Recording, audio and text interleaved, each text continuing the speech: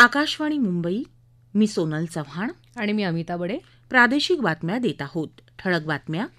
भारताची ताकद त्याच्या विविधतेत असल्याचं प्रधानमंत्री नरेंद्र मोदी यांचं मन की बात या कार्यक्रमात प्रतिपादन जलसंरक्षण आणि संवर्धनावर भर.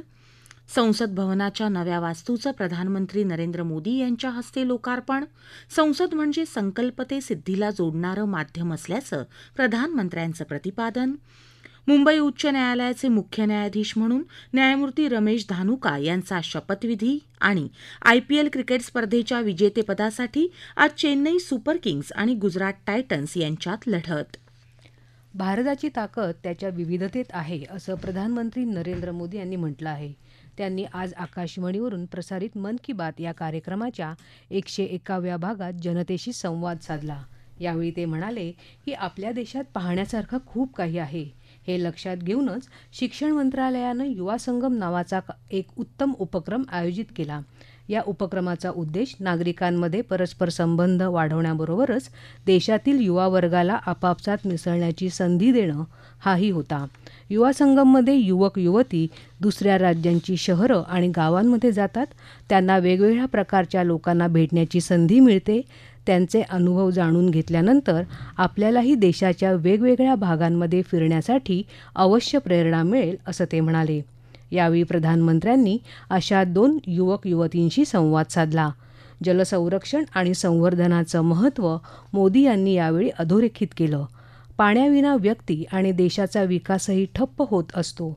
भविष्यातलं हे आव्हान लक्षात घेता आज देशाच्या प्रत्येक जिल्ह्यात पंच्याहत्तर अमृत सरोवरांची निर्मिती होत आहे. आत्तापर्यंत पन्नास हजारांहून जास्त अमृत सरोवरांची निर्मिती झाली आहे. जलसंरक्षण आणि संवर्धनाच्या दिशेनं हे एक खूप मोठं पाऊल असे असं ते म्हणाले. जलसंरक्षणाशी संबंधित स्टार्टअप अर्थात नवउद्योगाबाबत त्यांनी माहिती दिली. फ्लक्सजेन हा स्टार्टअप आयओटी तंत्रज्ञानावर बेतलेल्या माध्यमातून जलव्यवस्थापनाचे विविध मार्ग उपलब्ध करून देत असतो. हे तंत्रज्ञान पाण्याच्या वापराचे विविध प्रकार सांगून पाण्याच्या प्रभावी वापरासंबंधी सहाय्य करेल. आणखी एक स्टार्टअप आहे लिव्ह इन सेन्स हा कृत्रिम बुद्धिमत्ता आणि मशीन लर्निंगवर आधारित मंच आहे. याच्या सहाय्यानं जलवाटपावर प्रभावी पद्धतीनं देखरेख करता येऊ शकते. यातून कुठे किती पाणी वाया जात आहे याची माहिती समजू शकते. तर कुंभी कागज या स्टार्टअपनं जलकुंभी या जलवनस्पतीपासून कागद तयार करण्याचं काम सुरू केलं आहे असं त्यांनी सांगितलं. नाविन्यपूर्ण संशोधन आणि तंत्रज्ञानाच्या माध्यमातून काम करणाऱ्या तसंच समाज जागृतीच्या मोहिमेत सहभागी असलेल्या युवक युवतींचं त्यांनी कौतुक केलं. छत्तीसगडच्या बालोद जिल्ह्यात युवा वर्गानं पाणी वाचवण्यासाठी सुरू केलेली जनजागृती मोहीम तसंच झारखंडच्या खुंटी जिल्ह्यात नागरिकांनी पाणी संकटावर मात करण्यासाठी केलेल्या बोरीबांध उपायाचा मोदी यांनी आवर्जून उल्लेख केला. लोकसहभागाचा कोणताही प्रयत्न अनेक बदल घडवून आणू शकतो याचं खुंटी हे उदाहरण आहे असं ते म्हणाले. कृषी क्षेत्रात जास्तीत जास्त योगदान देण्यासाठी प्रयत्नशील असलेले नाशिक जिल्ह्यातले माजी सैनिक शिवाजी शामराव डोळे यांचाही प्रधानमंत्र्यांनी गौरवपूर्ण उल्लेख केला. अपने इस अभियान में शिवाजी डोले जी ने 20 लोगों की एक छोटी सी टीम बनाई और कुछ पूर्व सैनिकों को भी इसमें जोड़ा। इसके बाद उनकी इस टीम ने Venkateshwar cooperative power and agro processing limited नाम की एक सहकारी संस्था का प्रबंधन अपने हाथ में ले लिया। ये सहकारी संस्था निष्क्रिय पड़ी थी, जिसे रिवाइव करने का बीड़ा उन्होंने उठाया। देखते ही देखते आज वेंकटेश्वर कोऑपरेटिव का विस्तार कई जिलों में हो गया है। आज ये टीम महाराष्ट्र और कर्नाटका में काम कर रही इससे करीब अठारह हज़ार लोग जुड़े हैं, जिनमें काफ़ी संख्या में हमारे एक्स सर्विसमैन भी हैं। नासिक के मालेगांव में इस टीम के सदस्य 500 एकड़ से ज़्यादा ज़मीन में एग्रो फार्मिंग कर रहे हैं। ये टीम जल संरक्षण के लिए भी कई तालाब भी बनवाने में जुटी है। खास बात यह है कि इन्होंने ऑर्गेनिक फार्मिंग और डेयरी भी शुरू की है। संग्रहालयात आपल्याला नवीन धडे मिळतात तर अनेकदा काही नवीन शिकायला मिळतं म्हणून संग्रहालयांना अवश्य भेट दिली पाहिजे असं आवाहन त्यांनी केलं. जेव्हा आपण इतिहासातल्या स्मृती जपतो सुरक्षित ठेवतो तेव्हा येणाऱ्या पिढीसाठी ते सहाय्यक ठरतं असं ते म्हणाले. गुरुग्राममधलं म्युसिओ कॅमेरा संग्रहालय तामिळनाडूचं म्युझियम ऑफ पॉसिबिलिटीज मुंबईचं छत्रपती शिवाजी महाराज वस्तुसंग्रहालय सन दोन हजार दहामध्ये स्थापन केलेलं इंडियन मेमरी प्रोजेक्ट हे ऑनलाईन संग्रहालय यांची माहिती त्यांनी दिली. चार जूनला येणारी संत कबीर यांची जयंती स्वातंत्र्यवीर सावरकर यांची जयंती आणि एन टी रामाराव यांच्या जन्मशताब्दीनिमित्त मोदी यांनी त्यांचं गौरवपूर्ण स्मरण केलं. आजच्या मन की बात कार्यक्रमात प्रधानमंत्री नरेंद्र मोदी यांनी ज्यांचा आवर्जून उल्लेख केला ते नाशिक जिल्ह्यातले माजी सैनिक शिवाजी शामराव डोळे म्हणाले माननीय पंतप्रधान नरेंद्रजी मोदी साहेबांनी आमच्या या संस्थेचा उल्लेख मन की बात या त्यांच्या अत्यंत लोकप्रिय कार्यक्रमात केला. त्याबद्दल मी स्वतः आणि या संस्थेचे सभासद शतशः आभारी आहे. आमची संस्था निवृत्त लष्करी जवान आणि देशातील शेतकरी बांधव यांच्यासाठी सहकारी तत्वावर जय जवान जय किसान या ध्येयाने सहकारातून समृद्धी या तत्वावर कार्य करीत आहे. ही भारतातील पहिली ॲग्रिकल्चर कोऑपरेटिव्ह सोसायटी आहे की जी परदेशामध्ये शेतकरी बांधवांचा माल एक्सपोर्ट करीत आहे. स्वातंत्र्यवीर विनायक दामोदर सावरकर यांच्या एकशे चाळीसाव्या जयंतीनिमित्त जुन्या संसद इमारतीमधील सेंट्रल हॉलमध्ये सावरकरांच्या प्रतिमेला प्रधानमंत्री नरेंद्र मोदी लोकसभेचे सभापती ओम बिर्ला केंद्रीय मंत्री आणि खासदारांच्या उपस्थितीत पुष्पहार अर्पण करून अभिवादन करण्यात आलं. स्वातंत्र्यवीर विनायक दामोदर सावरकर यांच्या एकशे चाळीसाव्या जयंतीनिमित्त नवी दिल्लीतल्या महाराष्ट्र सदनात आज सावरकरांना अभिवादन करण्यात आलं. मुख्यमंत्री एकनाथ शिंदे उपमुख्यमंत्री देवेंद्र फडणवीस केंद्रीय मंत्री रावसाहेब दानवे कपिल पाटील यांच्यासह भाजपा शिवसेनेचे खासदार यावेळी उपस्थित होते. यावेळी स्वातंत्र्यवीर सावरकर यांच्या पुतळ्याला पुष्पांजली अर्पण करून आदरांजली अर्पण करण्यात आली. मुंबईत राजभवन इथं स्वातंत्र्यवीर सावरकर यांच्या प्रतिमेला पुष्पांजली अर्पण करून अभिवादन करण्यात आलं. स्वातंत्र्यवीर विनायक दामोदर सावरकर यांच्या जयंतीनिमित्त मुंबई महानगरपालिकेत आज त्यांच्या अर्धपुतळ्याला पुष्पहार अर्पण करून अभिवादन करण्यात आलं.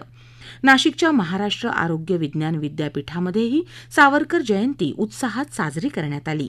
राज्यात इतरत्रही सावरकरांच्या जयंतीनिमित्त कार्यक्रम होत आहेत. राज्य पर्यटन विकास महामंडळानं सावरकर विचार जागरण सप्ताह आयोजित केला असून सावरकरांच्या जीवनकार्याशी निगडित ठिकाणांवर वीरभूमी परिक्रमा हा उपक्रम राबवला आहे. त्याअंतर्गत आज सावरकर सदन ते वीर सावरकर स्मारकापर्यंत दीपोत्सव साजरा करण्यात येणार आहे. या प्रादेशिक बातम्या आकाशवाणीच्या मुंबई केंद्रावरून देत आहोत.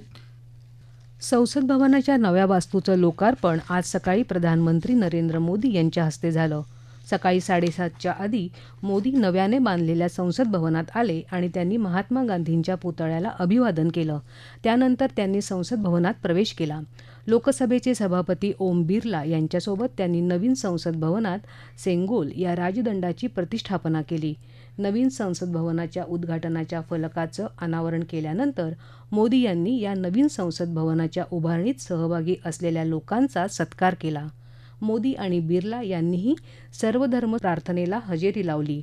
अमित शाह डॉक्टर जितेंद्र सिंह राजनाथ सिंह अश्विनी वैष्णव अनुराग सिंह ठाकूर डॉक्टर मनसुख मांडवीय प्रल्हाद जोशी आणि भाजप अध्यक्ष जे पी नड्डा यांच्यासह इतर केंद्रीय मंत्री देखील सर्वधर्म प्रार्थनेत सहभागी झाले.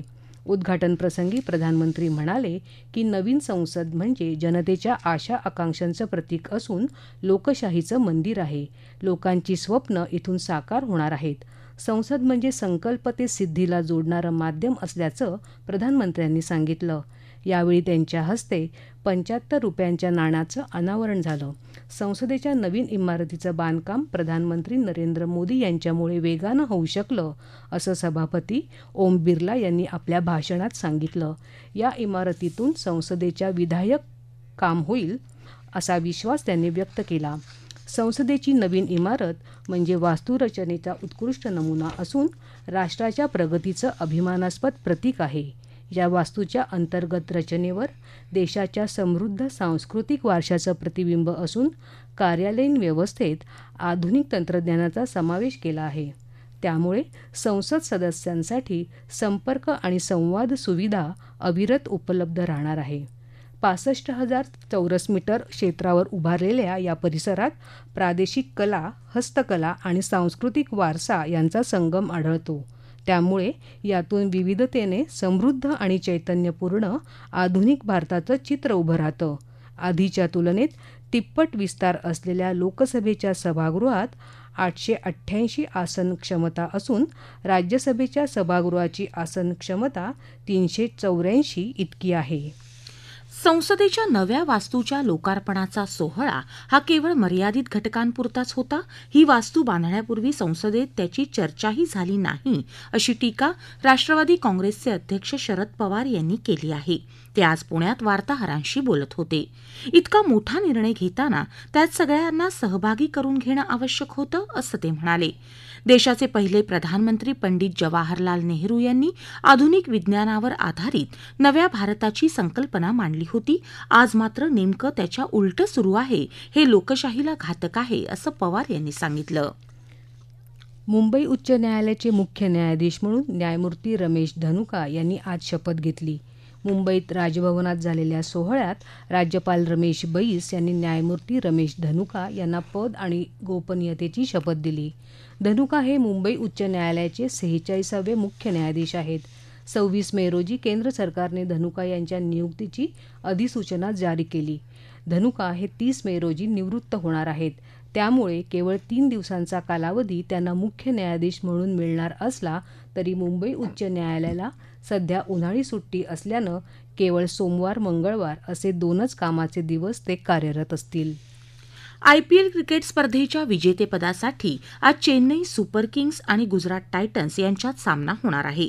अहमदाबादच्या नरेंद्र मोदी स्टेडियमवर आज संध्याकाळी साडेसात वाजता या सामन्याला सुरुवात होईल.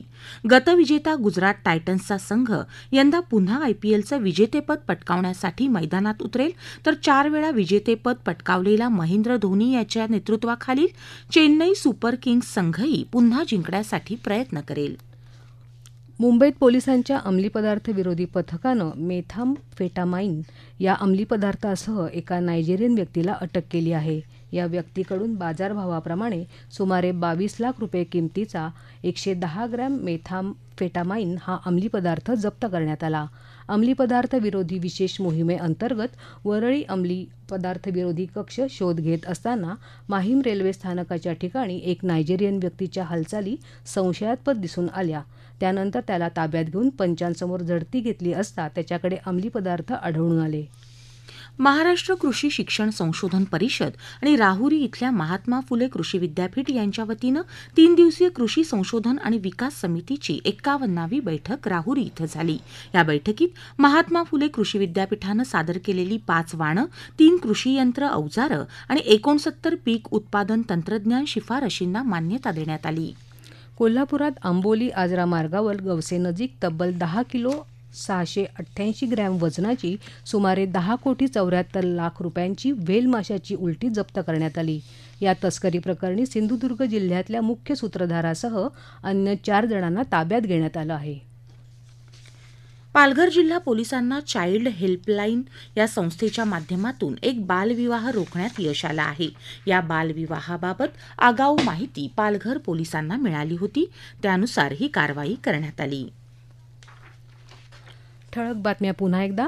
भारताची ताकद त्याच्या विविधतेत असल्याचं प्रधानमंत्री नरेंद्र मोदी यांचं मन की बात या कार्यक्रमात प्रतिपादन जलसंरक्षण आणि संवर्धनावर भर संसद भवनाच्या नव्या वास्तूचं प्रधानमंत्री नरेंद्र मोदी यांच्या हस्ते लोकार्पण संसद म्हणजे संकल्प ते सिद्धीला जोडणारं माध्यम असल्याचं प्रधानमंत्र्यांचं प्रतिपादन मुंबई उच्च न्यायालयाचे मुख्य न्यायाधीश म्हणून न्यायमूर्ती रमेश धनुका यांचा शपथविधी आणि आय पी एल क्रिकेट स्पर्धेच्या विजेतेपदासाठी आज चेन्नई सुपर किंग्स आणि गुजरात टायटन्स यांच्यात लढत. याबरोबरच आकाशवाणी मुंबई केंद्रावरचं हे प्रादेशिक बातमीपत्र संपलं. नमस्कार. नमस्कार.